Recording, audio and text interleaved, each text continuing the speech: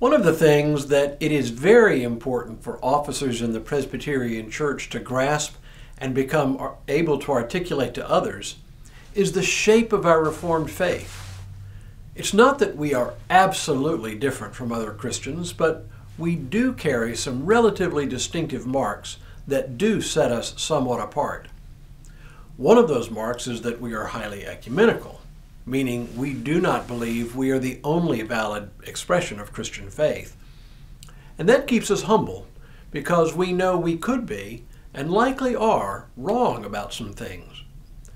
But there is one thing to know about us that we hold to firmly.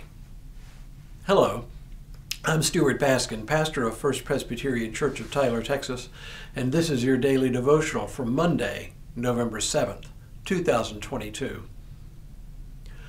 For the last few days, I've been talking about a few of the things I teach our incoming officers, our elders and deacons.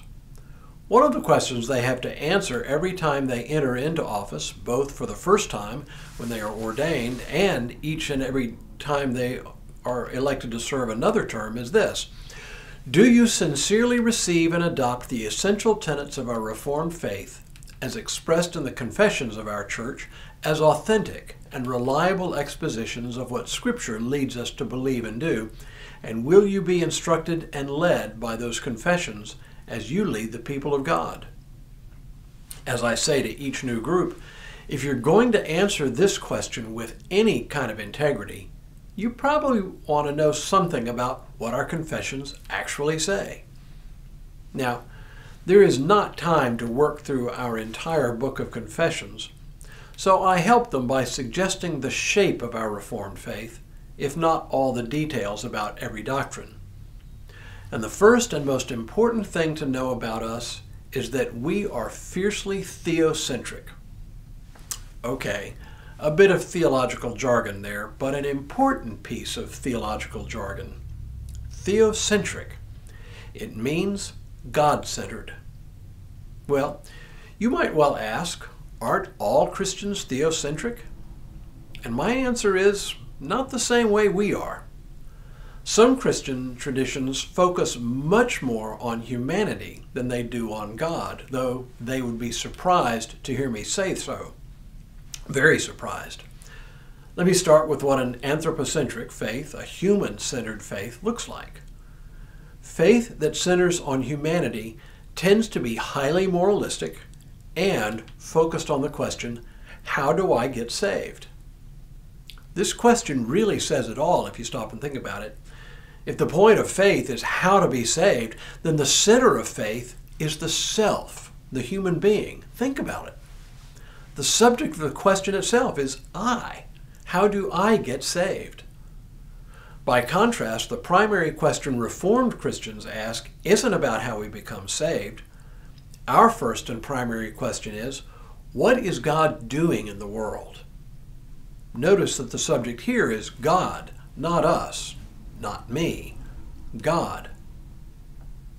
One of my old theology professors put it this way The glory of God and His purposes in the world are more important than the salvation of one's soul. Human beings are religious, the Calvinist asserts, not to satisfy their needs or to give meaning to their lives, but because God has created them and called them to His service. That's a pretty astounding assertion, isn't it? But it is one of the things that marks us as relatively distinct in the family of Christian traditions. We decenter ourselves and try our best to place God at the center of things, even to the point that for us, personal salvation, while important, is not the most important thing. You'd look long and hard to find a tract in a Presbyterian church that gives you the steps to become saved.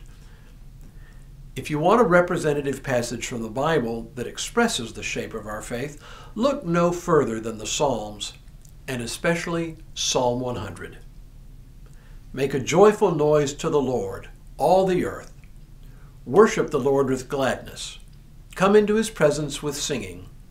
Know that the Lord is God. It is he that made us, and we are his. We are his people and the sheep of his pasture. Enter his gates with thanksgiving and his courts with praise. Give thanks to him, bless his name. For the Lord is good. His steadfast love endures forever, and his faithfulness to all generations. Now that's theocentric. God is God, and we belong to God, not the other way around. That's the way it ought to be.